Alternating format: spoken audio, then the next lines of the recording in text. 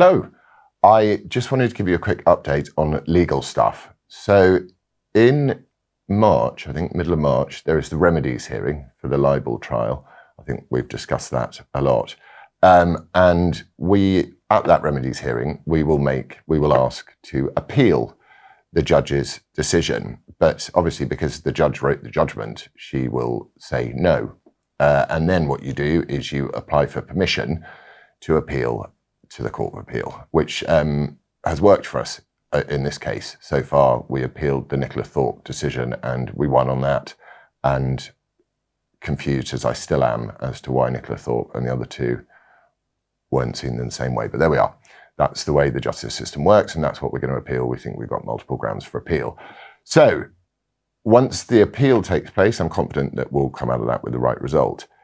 Going alongside this, I don't know if any of you remember, was a chap called Mukhtar who thought he'd try and boost his social media profile by attacking me and defaming me relentlessly for a few days. And I said to, I asked him politely and kindly to stop, and he didn't. So I sent him a letter before action to say, I'm going to have to sue you because you're defaming me. But as we know, as the result that we've just come out with, uh, no one seems to want to describe the word racist, what it means, and or whether it can seriously harm someone's life um, which it clearly can and does, as we can see with what's going on with the desire to destroy Lee Anderson at the moment.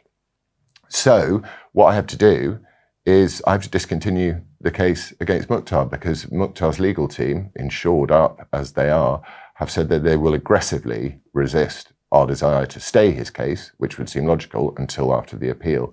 And I'm not very keen on another three and a half, four years of um, the pain and difficulty and stress, real stress that, that comes with these very high profile legal cases. So, um, yeah, this is just to say I'm going to discontinue Mukhtar. It's not because I don't think what he said was defamatory, it's because I don't want to sit through three and a half years of this. And also, it's the same judge, so we'll just get the same result.